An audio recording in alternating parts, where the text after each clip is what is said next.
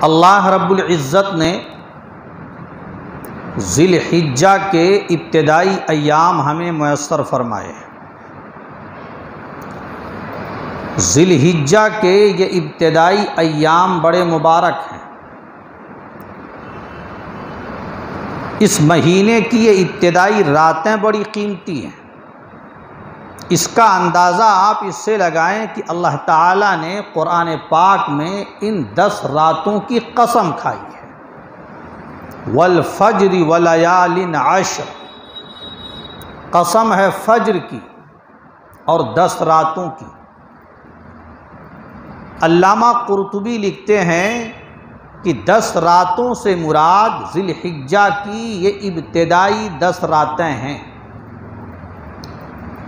معلومات نہ ہونے کی وجہ سے دیگر راتوں کی طرح ان راتوں کو بھی ہم گزار دیتے ہیں۔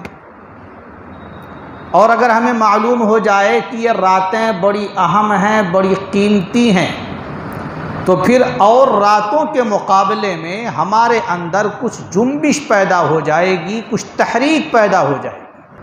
اب یہ ذی الحجہ کا مہینہ شروع ہوا۔ اللہ نے یہ دن ہمیں میسر فرمائے۔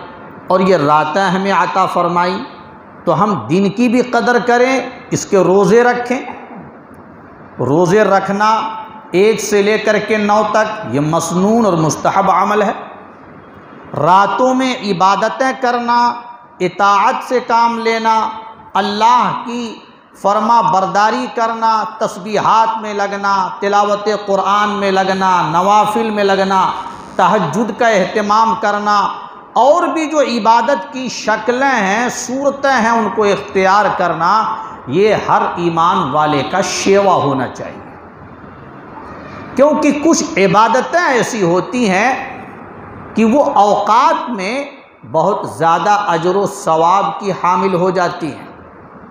کچھ ایام ایسے ہوتے ہیں کہ ان ایام میں عبادتوں کی قدر و قیمت بڑھ جاتی ہے، اجر و ثواب میں اضافہ کر دیا جاتا ہے۔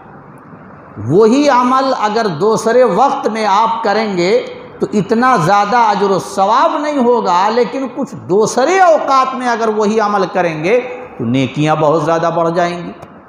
تو ہمیں ایسے سنہرے موقعوں سے، حسین و ذرری اوقات سے فائدہ اٹھانا چاہیے۔